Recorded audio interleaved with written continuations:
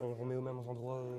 euh, à. Ecobot et Floppy, les deux robots imaginés par la Haute École Hainaut Condorcet, l'Athénée provinciale de Leuze et les écoles communales de Tourpes et Quin poursuivent leur chemin. Cette semaine, ils ont fait étape à tourner pour acquérir de nouveaux pouvoirs. Ici, en fait, ce qu'on fait à l'Arduino qui est là, tu vois, ça ici, ça c'est le moteur shield. Ici, on va mettre euh, de l'essence dans lequel vont tourner A et B. Donc A plus, A moins, donc il va tourner dans un sens avec le A et dans l'autre sens avec le B. C'est commandé par l'Arduino. Ici, on envoie euh, une alimentation 12 volts. Euh, ne possède que 5 volts et euh, c'est c'est 40 mA, donc ça ne fournirait pas ça euh, au moteur. Le moteur ayant besoin de 12 volts. On l'alimente ici, qui va alimenter le moteur, et puis on doit gérer au niveau courant. dans l'Arduino, c'est combien? Euh, Par l'Arduino, on s'est envoyé jusqu'à 40 mA.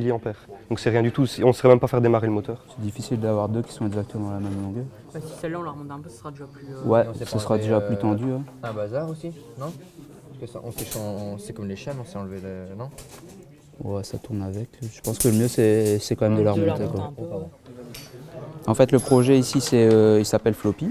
Donc, c'est un projet que les enfants ont choisi pour euh, aider à faire leurs devoirs, en fait. Ils auraient bien aimé d'avoir un robot qui aide à faire leurs devoirs et avec lequel ils peuvent jouer après. Donc, c'est ce qu'on essaye de faire ici. Et sur l'avant du robot, il y aura une tablette de l'autre côté.